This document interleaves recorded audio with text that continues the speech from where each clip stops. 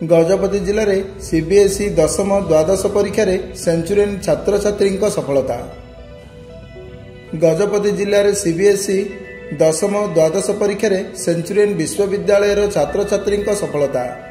ଗଜପତି ଜିଲ୍ଲା ପାଳାଖେମୁଣ୍ଡି ସ୍ଥିତ ସେଞ୍ଚୁରିଆନ୍ ପାବ୍ଲିକ୍ ସ୍କୁଲର ସଫଳତାରେ ଆଉ ଗୋଟିଏ ଫର୍କ ଯୋଡ଼ି ହୋଇଛି। ସିବିଏସ୍ଇ ଦ୍ୱାରା ପ୍ରକାଶ ପାଇଥିବା ଦଶମ ଦ୍ୱାଦଶ ଶ୍ରେଣୀ ପରୀକ୍ଷାରେ ଶତ ପ୍ରତିଶତ ଛାତ୍ରଛାତ୍ରୀ ଉତ୍ତୀର୍ଣ୍ଣ ହୋଇଛନ୍ତି।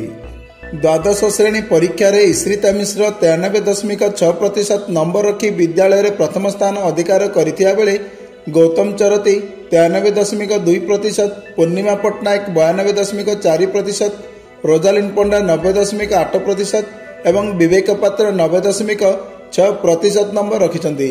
ସେହିପରି ଦଶମ ଶ୍ରେଣୀ ପରୀକ୍ଷାରେ ରାହୁଲଗଡ଼ ଅଠାନବେ ଦଶମିକ ଆଠ ପ୍ରତିଶତ ନମ୍ବର ରଖି ବିଦ୍ୟାଳୟରେ ପ୍ରଥମ ସ୍ଥାନ ଅଧିକାର କରିଥିବା ବେଳେ ତନିଷା ପାତ୍ର ଅଠାନବେ ଦଶମିକ ଦୁଇ ପ୍ରତିଶତ ଆଶିଷ ପାଣିଗ୍ରାହୀ ତେୟାନବେ ଦଶମିକ ଚାରି ପ୍ରତିଶତ ଶ୍ରୀ ସାଇ ଶ୍ରୀନିବାସ ପଣ୍ଡା ତେୟାନବେ ପ୍ରତିଶତ ନମ୍ବର ରଖିଛନ୍ତି। ଦଶମ ଶ୍ରେଣୀ ପରୀକ୍ଷାରେ ମୋଟ ଶହେ ତେର ଜଣ ପରୀକ୍ଷାର୍ଥୀଙ୍କ ମଧ୍ୟରୁ ଚଉଦ ଜଣ ପରୀକ୍ଷାର୍ଥୀ ନବେ ପ୍ରତିଶତରୁ ଅଧିକା ନମ୍ବର ରଖି ଉତ୍ତୀର୍ଣ୍ଣ ହୋଇଛନ୍ତି। ଶତ ପ୍ରତିଶତ ସଫଳତା ହାସଲ କରିଥିବାରୁ ସମସ୍ତ ବିଦ୍ୟାର୍ଥୀମାନଙ୍କୁ ବିଦ୍ୟାଳୟ vice president DN Rau principal Shrimati Sunita Panigrahi ଆଞ୍ଚଳିକ ନିର୍ଦ୍ଦେଶକ ଶ୍ରୀ ସମ୍ବିତ ପାତ୍ର ପ୍ରଶାସନିକ ଅଧିକାରୀ ଶ୍ରୀ ପ୍ରଦୀପ ପଣ୍ଡା ଏବଂ ସମସ୍ତ ଶିକ୍ଷକ ଶିକ୍ଷୟିତ୍ରୀମାନେ ବିଦ୍ୟାର୍ଥୀମାନଙ୍କୁ ଅଭିନନ୍ଦନ ଜଣାଇଛନ୍ତି।